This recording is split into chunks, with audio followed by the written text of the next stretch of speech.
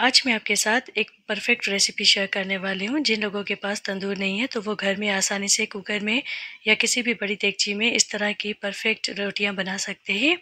तंदूरी रोटी बनाने के लिए सबसे पहले आपको एक कप जितना गंदम का आटा लेना होगा नॉर्मल जो सबके घर में मौजूद होता है। हंसबे ज़रूरत इसमें आप नमक डाल दें। इसको अच्छी तरीके से मिक्स करना होगा। अब इसमें नीम गर्म पानी डालने के बाद परफेक्ट इसकी डो बना दें। जिन लोगों के पास तंदूर नहीं है या वो बाहर से लाने में थोड़ा सा परेशान होते हैं तो वो घर में आसानी से ये बना सकते हैं। थोड़ा सा मैं इसमें और पानी डालूँगी ताकि परफेक्ट तरीके आटा बन जाए। अगर आपके पास इस तरह का आटा बना हुआ फ्रिज में पड़ा हुआ है तो सिंपल आप पाँच से दस मिनट में ये तंदूरी रोटियाँ घर में बना सकते हैं। इस तरह का जब आपका आटा बन जाए, तब आप इसका एक बड़ा बनाकर पाँच से दस मिनट के लिए इसे कवर करके छोड़ दें। क्योंकि आटे को रेस्ट देना ज़रूरी होता है, इसी से आपकी रोटियाँ परफेक्ट बनकर तैयार होगी। कोई भी अगर आप मज़ेदार डिश बना रहे हैं तो इसके साथ इस तरह की रोटियाँ ज़रूर बनाइएगा। पाँच मिनट के बाद इसके कवर को मैं हटा दूँगी। अब इसे दो से तीन मिनट तक गूंदना होगा, ताकि जो आटा है वो परफेक्ट बनकर तैयार हो जाए। इस तरह के ज़्यादा मज़ेदार रेसिपीज़ मेरे पेज पे मौजूद है।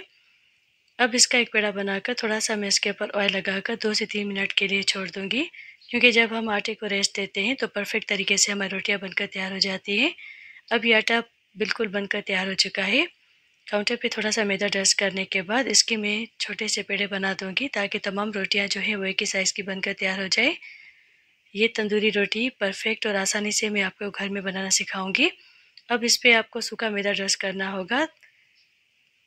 तमाम पेड़ों को बनाकर एक साइड पे आप रखते जाएँ और इसे कवर कर कर रख दें ताकि पेड़े जो हैं वो सूखे ना।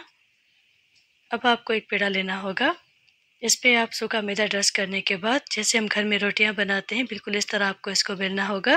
बेलन की मदद से आप इसे रोटी की शेप दे दें। अक्सर हमारे घर में इस तरह की रोटियाँ बनाई जाती हैं तो आटा हमारे घर में मौजूद होता है। तो परफेक्ट आप तंदूरी रोटी घर में आसानी से बना सकते हैं। इस पर आपको थोड़ा सा सूखा मैदा और लगाना होगा ताकि अच्छी तरीके से ये रोटी की शेप में बन जाए। जब इस तरह आपकी रोटी बनकर तैयार हो जाएगी, तब आपको ये करना होगा कि आपको पानी लेना होगा। इसके ऊपर आप पानी लगा दें थोड़ा सा ज़्यादा आपको पानी लगाना होगा ताकि रोटी जो है वो बिल्कुल गीली हो जाए। सारी रोटी के ऊपर इस तरह आपको पानी लगाने के बाद एक आपको कपड़े को इस तरह फोल्ड करना होगा। कपड़े के ऊपर आप इसकी उल्टी वाली साइड रख दें। जो पानी वाली साइड है, वो आपको ऊपर रखनी होगी। प्रेशर कुकर को मैंने गर्म कर दिया है। अगर आपके पास इस तरह का कुकर नहीं है, जो नॉर्मल हमारे घर में बड़ी सी देगचियाँ होती हैं, वो भी आप इसमें इस्तेमाल कर सकते हैं। इसको मैंने बिल्कुल तेज़ गर्म कर दिया है। तेज़ गर्म करने के बाद इसकी साइड पे आप रोटी लगा दें और थोड़ा सा ऐसे प्रेस कर दें, ताकि रोटी जो है इसमें चिपक जाए। जब दोनों रोटियाँ लग जाएँ, तब आपको इसको लो फ्लेम पर फिर से रखना होगा और इसे आप हल्का सा कवर कर दें। ताकि जो रोटियाँ हैं वो अच्छी तरीके से बनकर तैयार हो जाए।